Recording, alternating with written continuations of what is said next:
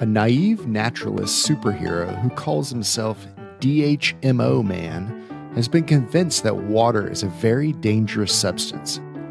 He saw several memes about the dangers of dihydrogen monoxide and thinks it's a very dangerous substance. What he doesn't realize is that they're just jokes about water.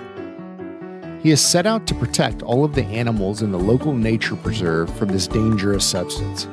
He's installed an electric fence along the perimeter of the pond and stream that runs through the preserve so that none of the animals have access to water.